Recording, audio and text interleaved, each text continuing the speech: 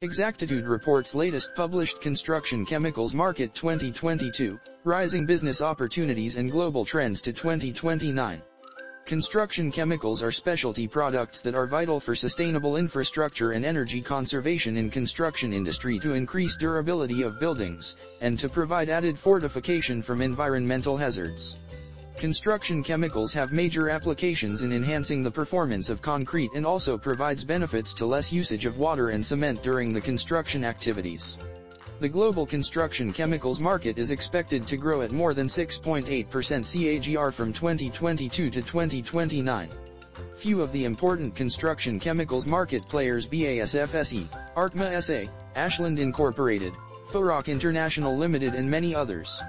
Key highlights chemical products such as concrete admixtures similarly help in minimizing the quantities of cement and water generally required during the construction.